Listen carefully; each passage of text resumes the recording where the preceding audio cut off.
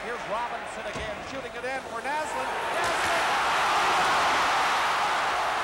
And the Nordiques Price was back there to clear it. Here's a break. Anton Stastny, Hunter is in front.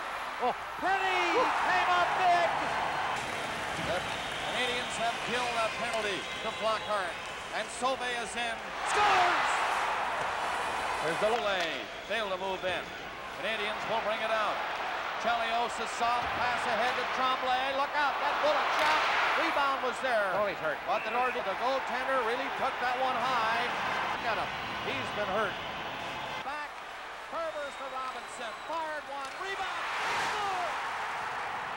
Beno against Peter Stastny. He'll try to get it back to Price, and he does. Screen shot. Rebound. Oh, he scored.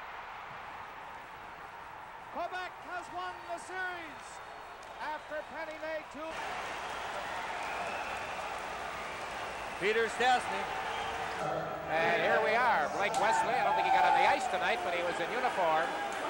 And the atmosphere was just great. Like uh, there was a pressure, but certainly not too much. We were calm, quiet. We, there was so much confidence in here. I really, I, I never ever doubted, you know, we're going to win this game, even though we, like, we were, we built up a two nothing lead. They came back, but I, would say they got about 10 minutes. Really, you know, they they played really well, and. Uh, but overall, you know, we, we, we kept having good scoring chances. So I knew, in long run, we, you know, it's got to show, and uh, I'm just happy that it, it, showed and we won the series. Um, it's nothing to be ashamed of losing to that team. They have a good team, and uh, it was just a matter of luck. Everybody worked hard, and uh, you know the Nordiques played well, and uh, Gosselin uh, played well during the whole series. If you had to play this series all over again, would you do anything different at all? Well, uh, win game one, but uh, I don't know. It's you know we didn't win. It, you know th three games we lost there, and uh, it's difficult. And you know when you lose in your own building, two games, whatever.